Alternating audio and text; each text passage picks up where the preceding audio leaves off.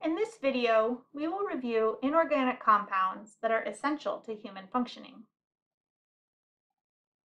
We'll start with a comparison of inorganic and organic compounds. An inorganic compound is a substance that does not contain both carbon and hydrogen. Many of our inorganic compounds do contain hydrogen atoms, such as water and hydrochloric acid that's produced by the stomach but there are only a handful of inorganic compounds that contain carbon atoms.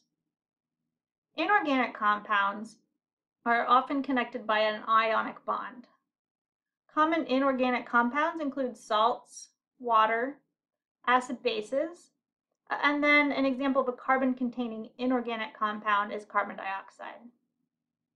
In contrast, organic compounds contain both carbon and hydrogen, these compounds are synthesized via covalent bonds. Organic compounds include carbohydrates, fats, and proteins, which are all found on pizza, which must mean pizza is the perfect food. Up to 70% of an adult's body weight is made of water. This includes the water found inside the cells, or the intracellular fluid, and the water found outside of the cells or the extracellular fluid. Within the body, water has many functions. Water serves as a lubricant and a cushion within the body. For example, in our joints, we have synovial fluid, where water helps to protect the actions of our joints. In our pleural cavity, the pleural fluid helps the lungs to expand and recoil as we breathe in and out. It also protects our cells and organs from physical trauma, such as the cerebral spinal fluid within our skull that helps protect the brain. Water serves as a heat sink where it can absorb and dissipate heat without increasing that body temperature. For example, water will absorb heat um, when it is hot outside. It will redirect blood flow to help keep us cool, and water is released from our sweat glands where it can evaporate in the air and carry that heat, thus cooling that part of the body. And then water works as a solvent for our body's chemical reactions. Remember that water molecules are polar, and so they have regions of positive and negative electrical charge. Because of this, water will readily dissolve ionic compounds and any polar covalent compounds. These are our hydrophilic or water-loving compounds. For example, in water, it will dissolve salt or sodium chloride. An important thing to remember is that when we talk about clinical laboratory values, when we say a sodium level, we're really talking about concentrations in the blood. So you can see in this chart of some common laboratory values that the clinical value of sodium is really the concentration of sodium in the blood as it's measured in milliequivalents per liter, which is a concentration.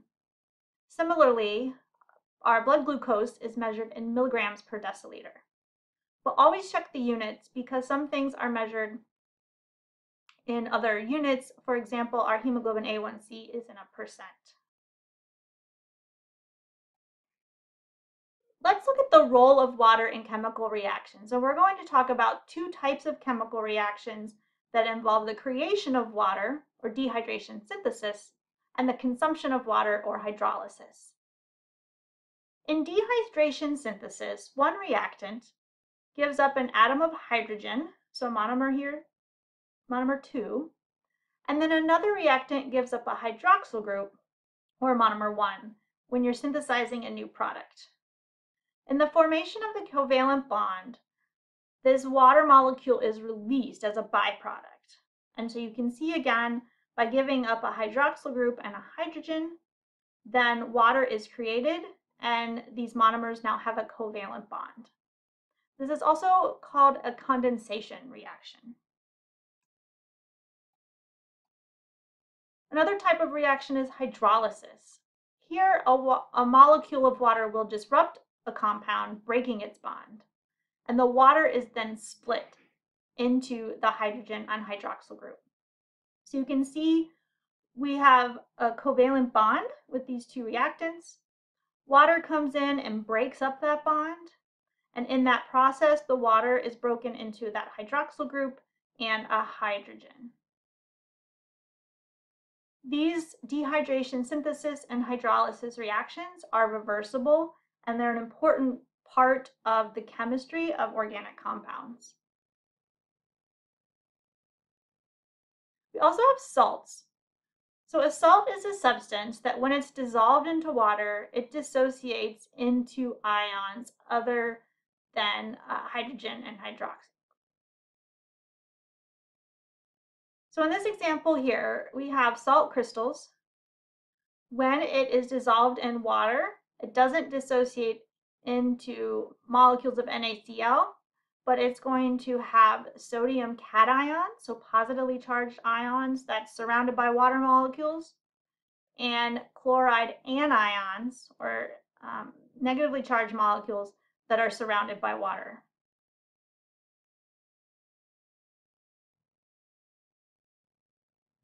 Our acid bases are important parts of body chemistry.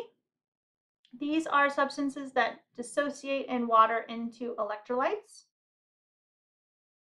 Acids and bases can change the properties of solutions when they're dissolved. So an acid is a substance that releases hydrogen ions in solution.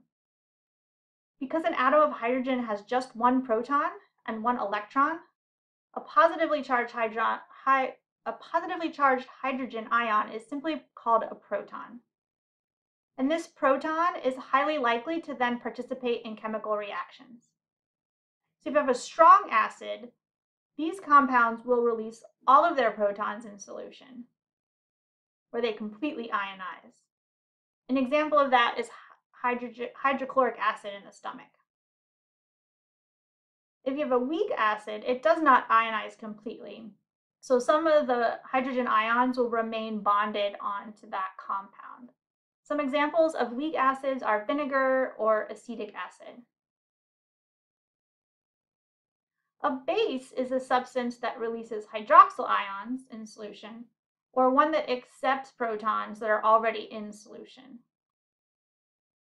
So the hydroxyl ions uh, or other substances can combine with the hydrogen ion uh, to form a water molecule. And so then that can remove the hydrogen ion and reduce that acidity. So a strong base will release most or all of their hydroxyl ions, uh, and a weak base will release only some. An example of a base would be something like bicarbonate, which would be things like baking soda or are found in Tums and other medications. So when we talk about acid bases, we have to talk about the pH. So the relative acidity or alkalinity or uh, for a base uh, of a solution would be measured with its pH. So you can see the pH scale goes from zero to a very strong acid, like battery acid or hydrochloric acid, uh, all the way up to 14, which is a strong base like drain cleaner. The closer you are to neutral, or around seven, the closer, the more safe it is for a human. So our pH of blood is 7.4. So things that we tend to tolerate well would be things like uh, milk or maybe black coffee. Um, but people find things like grapefruit juice or lemon juice a little more acidic for them. Uh, seawater is a little bit alkaline. Baking soda is something people use um, when they're feeling like their stomach's too, acidic. But then when you get into things like ammonia and bleach, those can start to be harmful. And then we'll look at buffers. So a buffer um, is a solution uh, of a weak acid and its conjugate base. And so in our blood, the human pH ranges from 7.35 to 7.45. And all the cells of our body depend on homeostatic regulation of this balance. So when you have a buffer, it can neutralize small amounts of acids or bases in body fluids, thus helping to protect our cells from damage uh, when there are uh, swings in pH. So that's a brief overview of inorganic compounds in the human body.